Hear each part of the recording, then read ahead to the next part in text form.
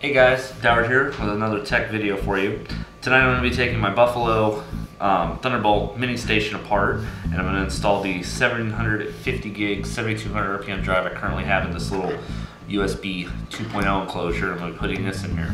The stock Thunderbolt Buffalo drive I have here is the 500 gigabit gigabyte model that has a 5400 RPM drive in there. So I do want a little faster drive, so I'm going to put a little bigger, a little faster drive. The 750 gig is actually the original drive that came in my um, 20, late 2011 MacBook Pro. Um, obviously Thunder Thunderbolt, that's what I'm using using this with. Um, so yeah, I'm just gonna go ahead and install this in here. A couple things that you're gonna need obviously are know, Thunderbolt drive. You're gonna need a spare hard drive, whatever drive you intend to put in there. Um, this entire walkthrough I'm doing works exactly the same way for an SSD. Um, I'm just going to be disassembling this. You will need, you know, like a little toolkit set, and you're going to need a like a hair dryer or, or a heat gun. I would probably use a hair dryer for this because you don't want to overheat the hard drive. Um, the Thunderbolt station is a two-piece design. It's a solid one-piece aluminum shell for the bottom, and the drive and is actually connected to the top plastic piece. Um, the entire thing is held together with just some double-sided tape that resides along the bottom here. So what we want to do is just heat up this area, uh, loosen the adhesive, and then just separate out the drive. So that's what we're going to work on here. I'm going to start off on low. hot air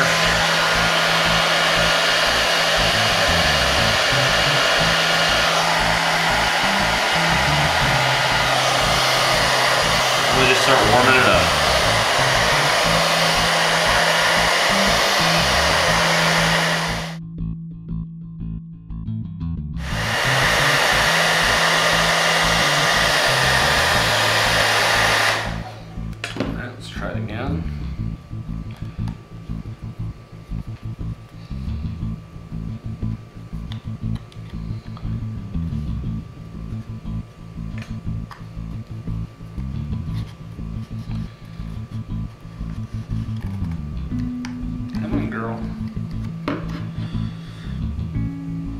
Trying not to tear the double-sided tape in there. I know a lot of guys, you can force this right out and you'll just tear the double-sided tape, but I kind of want to keep the double-sided tape in good condition. You see it's slowly coming.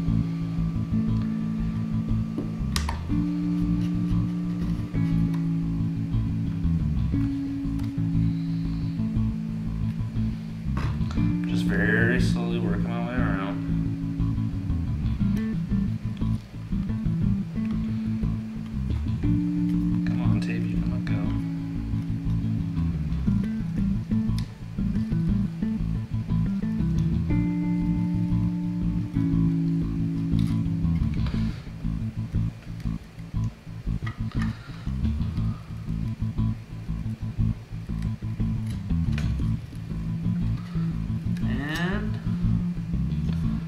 looks like I still managed to rip some of it anyway. But yeah, there you go. That's all this guy is. It's just double-sided sticky tape and this aluminum case. Now to disassemble this guy,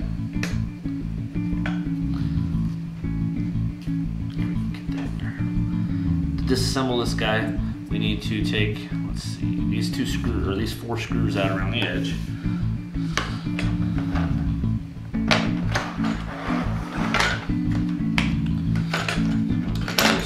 Set her together.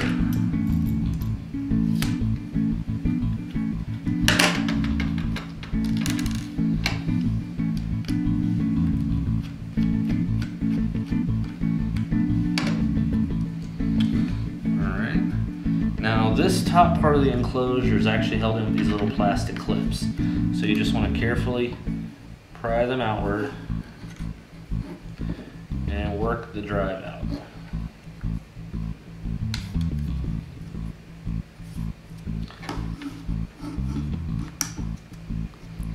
So I'm doing is letting the screwdriver here just act as a little bit of slight leverage to it. I'm not pushing on it. I'm just letting the weight of the screwdriver help me slowly pull, you know, get these around the clips.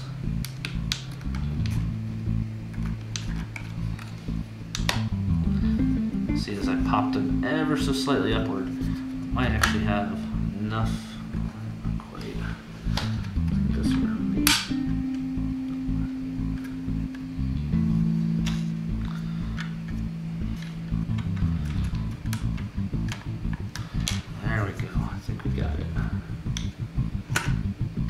Ah, finally.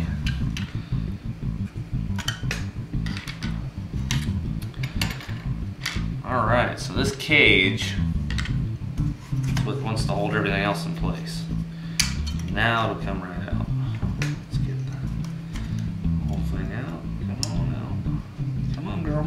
There we go. All right, now we take this guy. Let's see. The shield come off. Oh, maybe not. Hmm.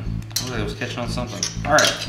Now we have is our USB 3 Thunderbolt adapter card.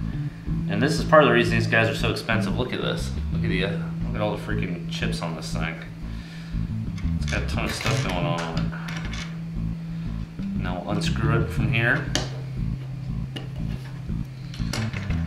Set these two screws off to the side. Now it's just a matter of slide it off. There we go. It's on there pretty tight. Just slides straight back. Now, our old hard drive in this was a Samsung Momentus ST500LM012. That is a Sierra Tango 500 Lima Mike 012. I'm gonna look up specs on that, but as far as I know, that's a Momentus 5400 RPM drive. Just curious to see what kind of cache it's got. Now, as far as this guy, this is a Nexstar, uh, Vantec Nexstar that I got off of Newegg, I don't know, eons ago it feels like. This guy, on the other hand, taking it apart is a snap. And I do look forward to there being more Thunderbolt enclosures on the market that will be this easy to work with. Take out these two screws up front, two screws on the side, solid aluminum case.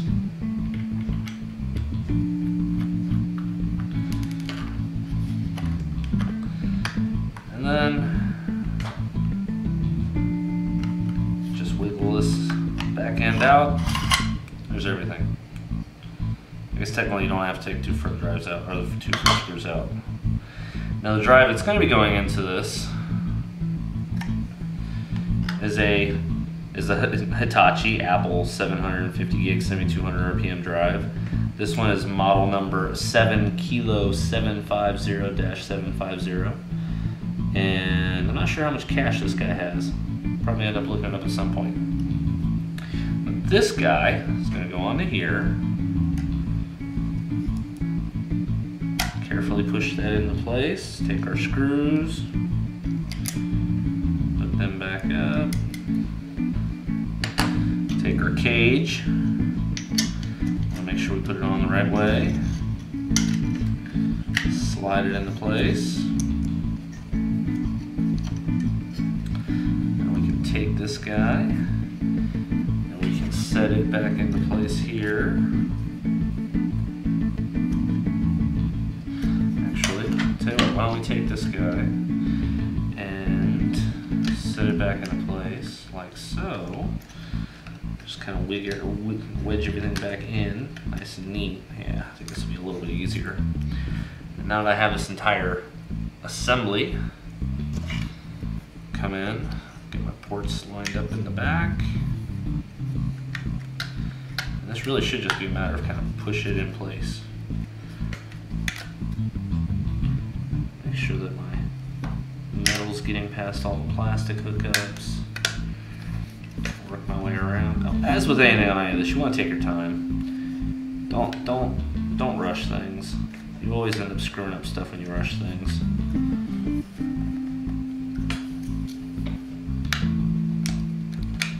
There we go.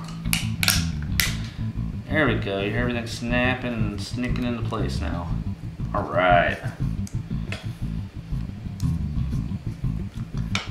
And then we'll just line this up.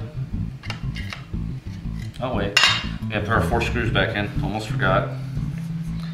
Once you get there, once you get this plastic piece finally in, which is kind of a bear.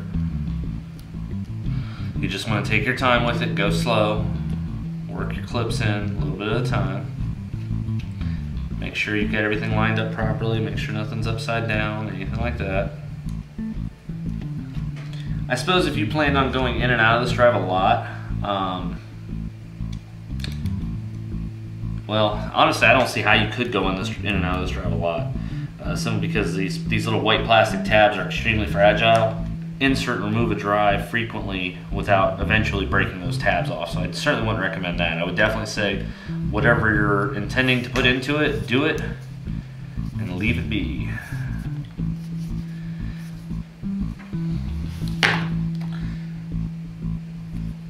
Just press everything down nice and neat. Sure rubber feet back up proud. And there you go. We have a 750 gig 7200 RPM Buffalo drive now. The old drive, I'm just going to quickly pop back into the old USB 2.0 enclosure. And once I've done that, I will format this because it's going to be going on my wife's computer, which she's got a uh, Windows 7 PC. And like I said before, I really look forward to being able to get a Thunderbolt enclosure just like this. Much easier to work on. I mean, really only two screws. I didn't have to take these bottom two screws out. I think these just hold the front end, front end of the case together. Now we have a 750 gig 7200 RPM Thunderbolt drive with a 500 gig 5400 RPM USB 2.0 enclosed drive. Put my tools away, and then I will go benchmark this guy. I'm very curious to see how it does. The stock drive in this, I was getting about 104 megs read and write, um, which not bad really for a 5400 RPM drive. It's, it's been a little while since I've been benchmarked one. I'm very impressed uh, at what kind of difference these platter densities have actually made to real world usage. It used to be, I, I remember when 5400 RPM drives were, you know, they were amazing speed. We, we had very, very slow drives back in the day. Oh, shoot, I remember we did this before. Man, I feel old saying that. Just hit 30, so I'm like, man, I remember when they, uh, we didn't have hard drives, and gosh, I feel old. But yeah, there we are. Everything's nice and put back together. Uh, I'm looking to see if I have any kind of a seam or anything where it's noticeable. Um, I can't see any kind of, yeah, anything. This is my little on-the-go drive, so yeah, let's go benchmark this.